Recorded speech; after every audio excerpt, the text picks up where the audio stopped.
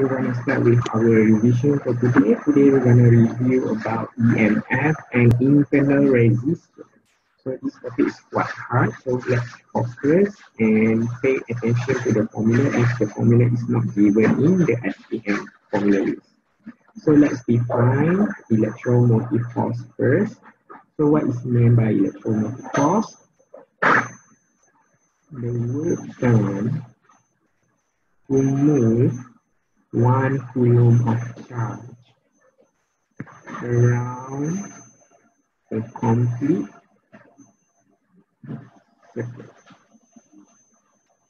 So before this, we define potential difference. Potential difference is the work done to move one coulomb of charge across two points in the circuit. So potential difference is only at certain two points in the circuit, but for EMF is for the overall circuit, overall um, journey of the charge throughout the circuit. So that is the difference between EMF and potential difference.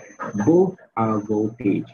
So we cannot use the, uh, the terms voltage here. So we must use the correct uh, terms to describe which one is the potential difference which one is the EMF. But we usually just uh, define voltage to be equal to the potential difference, but it's not that case as we see here that EMF also fall as voltage as well. So let's see number two, given the EMF of the battery is 1.5 volt, compare the voltmeter reading with 1.5 volt when the switch is on. So let's uh, clarify this fact before this we learned that if uh, we have a 1.5 volt here then this is the positive this is the negative. So point here is directly attached. If we choose to arbitrary point let's choose uh, this point over here then might be here this two point. So this point over here is directly connected to the positive terminal. Whereas this uh, other end over here is directly connected to the negative terminal. So what we learned before that if this point over here connected to the positive terminal that it has the higher potential value which is given 1.5 volt. Whereas if this uh, negative point over here connected to the negative terminal, we usually given the value of zero, the lower potential value. So if we want to measure the value of potential difference between these two points, it's going to be 1.5. But that's only the case if we don't have internal resistance. So this is true when the battery that we use here has a very, very small value of internal resistance, or we can say that the internal resistance can be negligible. So we cannot say that uh, there is no internal resistance because the battery gonna have internal resistance no matter what but the value of the internal resistance might be varies. But we can assume that when we solve the problem before, we assume that the internal resistance, the value of the internal resistance is lower, thus negligible. We can neglect that. Then that means that our potential different values over here is equivalent to 1.5.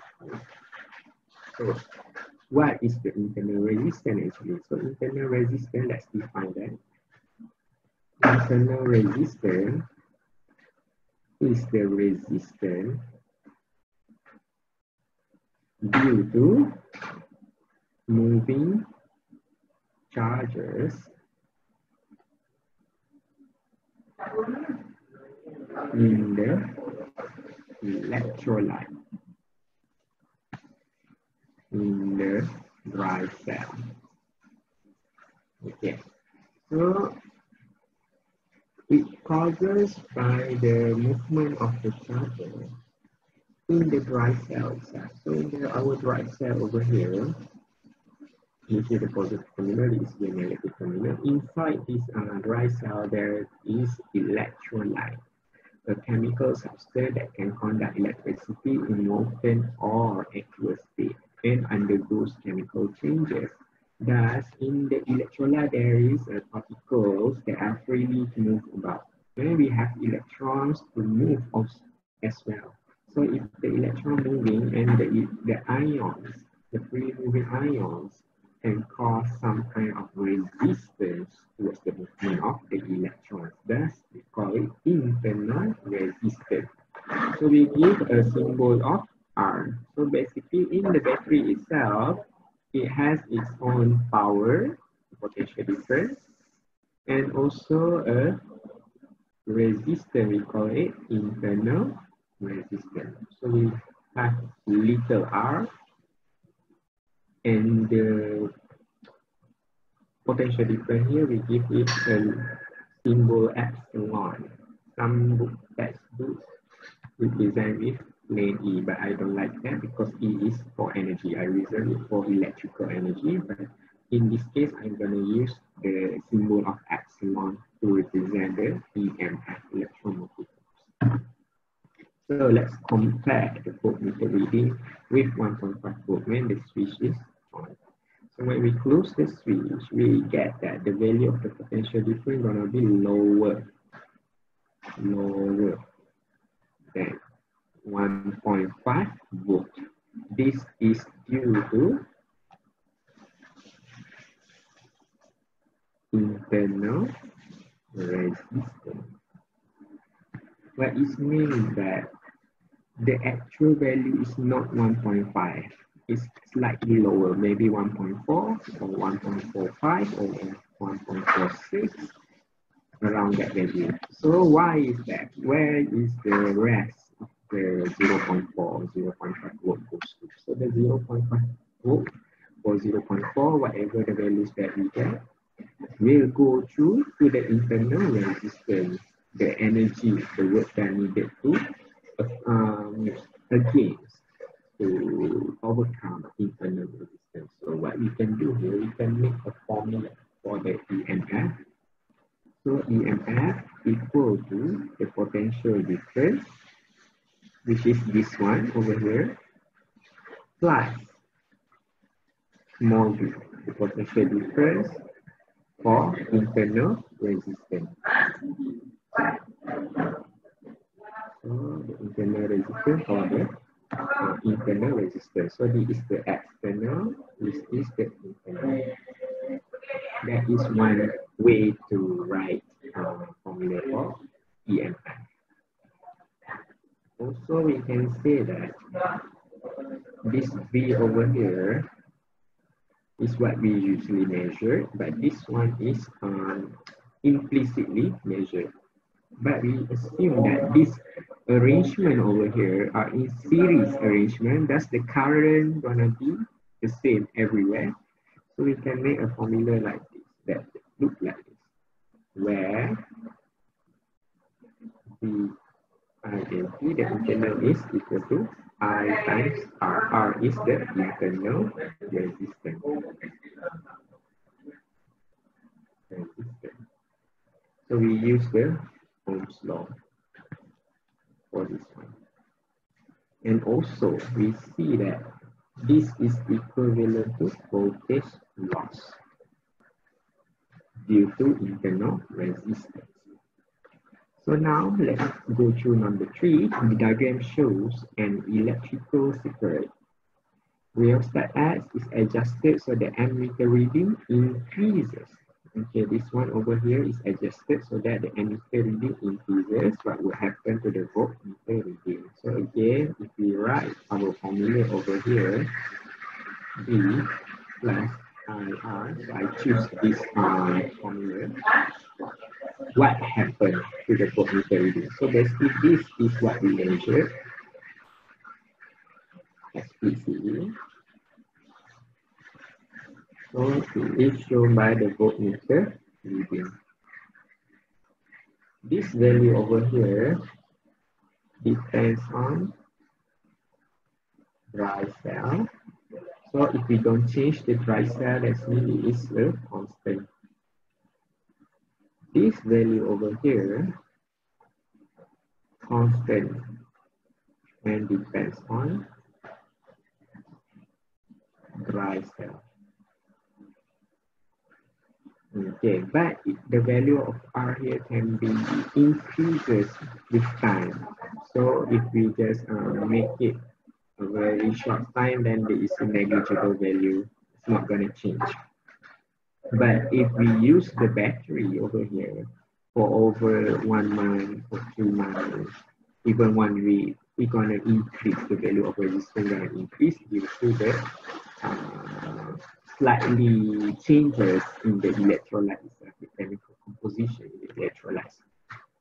So, so what's the question asked? If we increase the value of I, this whole thing over here gonna be increases because R is constant. So constant times the value that is bigger, then the whole value is gonna be bigger.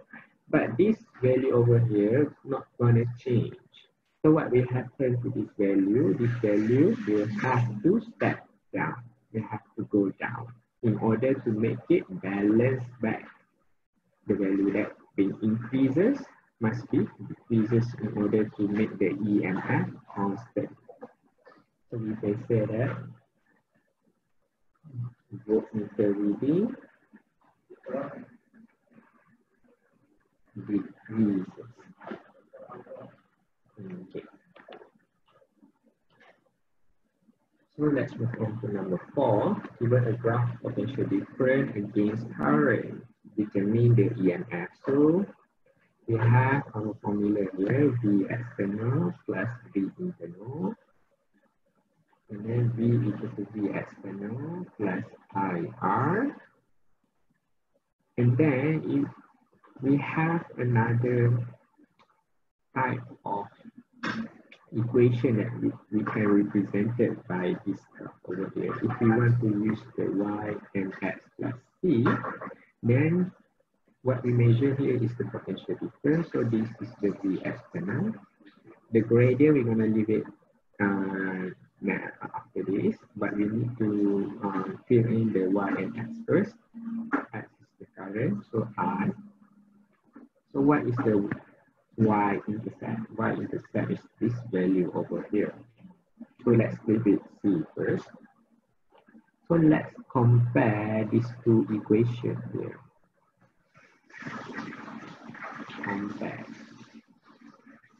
So we have that if we want to rearrange this we look like this, we can make that look like this if we rearrange P external, then we have to bring the IR to the other side. So E minus R.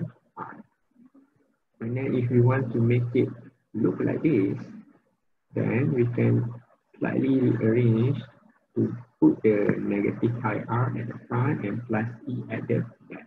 So what we get here, V external equal to negative IR plus E. So this is another equation. So now we can erase this one because not that useful.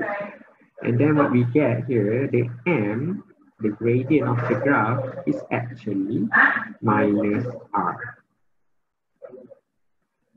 Because R is the, if we compare to the above, I is the x energy, so minus and R are the gradient. Whereas the C, the y-intercept is the EMF. So if we compare these two, then it will be the same. So we have another type of formula here. Again, how we want to calculate the gradient? So we know that the gradient is the negative R. We can calculate the gradient by using these two points here. So this is the EMF, this is the V, this is the R. So we just neglect the zero because uh, everything minus zero gonna be uh, that thing will change. So E minus V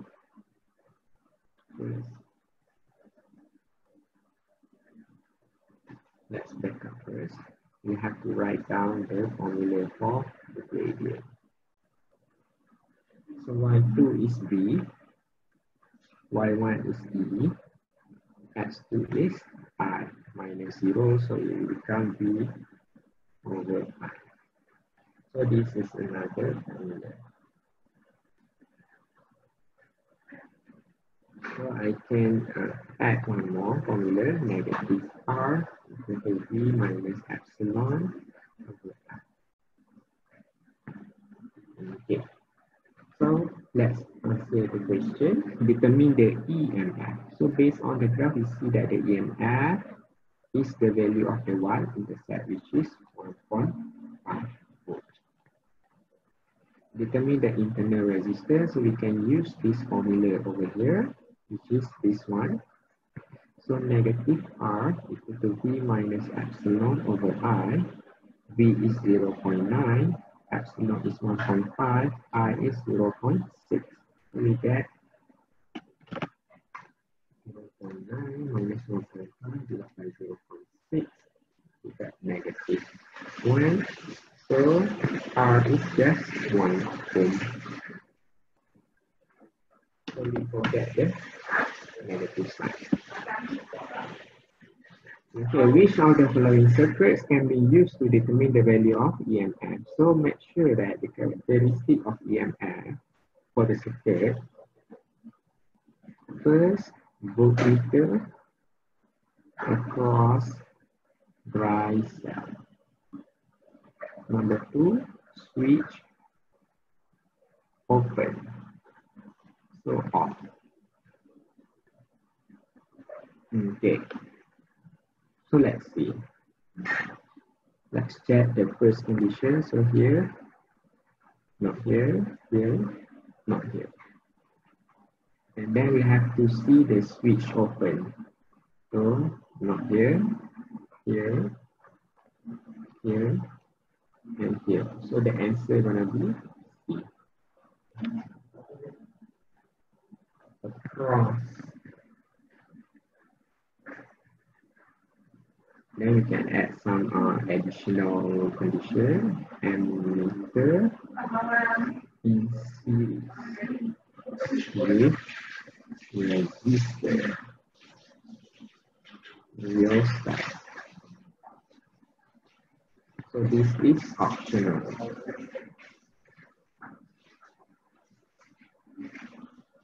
Okay, let's do some more calculations using the formulas. Electromotive force diagram shows an electric circuit. We have our PGE or EMF 3.5 ohm, 0.8 amperes. Calculate the internal resistance of the battery in this circuit. So we're gonna use this formula over here. So if you want to rearrange IR equal to E minus V, R equal to E minus V over I. So R is equal to E minus V over I. E is 3.0, V. Then we don't know about V. E is 0 0.8. Okay, how are we going to do V? Then we have to use the Ohm's law. Equal to 0 0.8 times 3.5. V is 0 0.8 times 3.5, 2.8.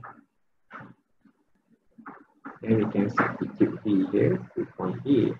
Then R is 3 minus 2.8 divided by 0 0.8, 0 0.25. Boom. Okay. So uh, remember that this Ohm's law here we use big R for external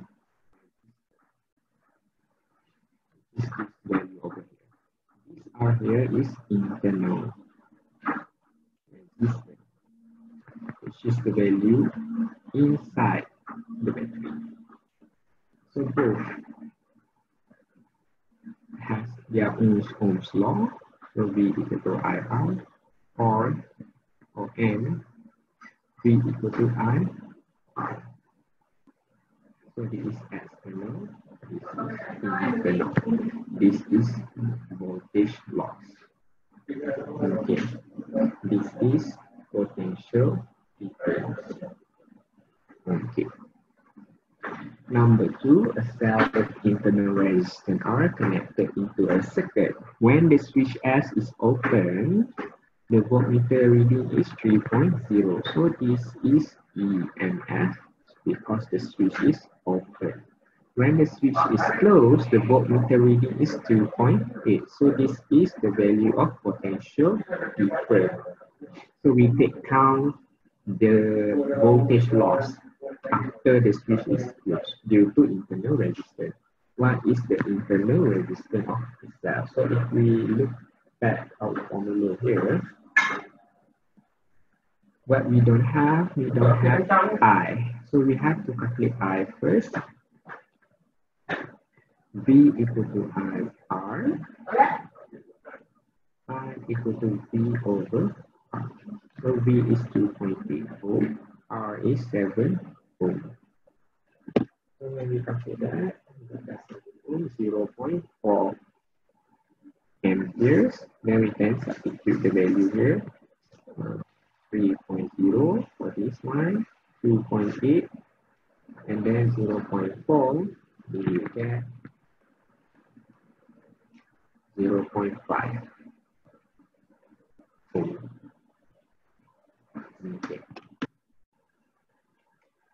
Number three, when the switch is off, the voltmeter reading is 9.0. So this is EMF. The internal resistance of the cell is 1 ohm. So this is small r. What is the ammeter reading? I when the switch is. Okay, so let's write down our formula. V plus IR. I choose this one. So how we to calculate V? Because we don't have V, it's simple as this. Because V is also IR plus IR, then we have another formula, So this is another formula that's quite popular as well.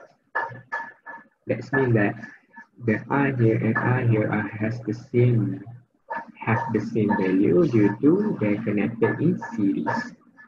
Series. So we have our next formula. Then we can find I by rearrange. E divided by R plus R. So our E is 9.0 our big R is 2 our small r is 1 ohm. So R is 9 divided by 3, 3 and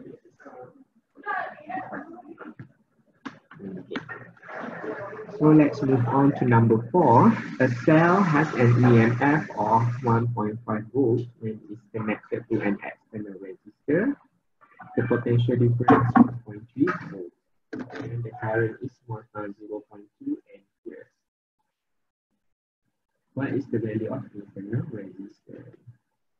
So again, using the formula, plug in the values. Mm-hmm. Here 0.2, and we get 1 ohm. Number five. Given the current flow through the bulb is 0.5 ampere, what is the potential difference across the bulb, which is over here? So we have EMF here and R here. E equal to B plus I B equal to E minus I. So 9 volts minus 0.5 amperes 0.4 ohm. Our B 8.8 volt. Okay. I think that's all for today. So let's review back all the EMF equation that we already derived. V external plus V internal E equal to B plus IR. E equal to IR plus IR E equal to I R plus R which is quite same V equal to minus Ri plus E minus R equal to M equal to b minus I V minus E over i, b minus epsilon over I C is the EMF and also we can indicate positive by uh, interchange the position. So what else? Yeah, V loss equal to V internal equal to I R. And also we have the external equal to I R as well. Okay. I think that's all for today. Hopefully that you understand all the equation, which one that you want to use the Ohm's law for. Is it for the external resistance or internal resistance? And why the potential different values is different than the values on the battery because it is uh, the work done against the moving charges inside the electrolyte. So it's due to internal resistance. So the voltage loss is due to internal resistance. Thus, the value of potential difference is lower than the value of EMF. So that's all for today. See that you understand the concept here and all the foundation and choose which uh, equation, which uh, formula that you want to use because all the formulas are equivalent. You can use it, uh, but some of the equation might be easier. So that's all for today. Thank you.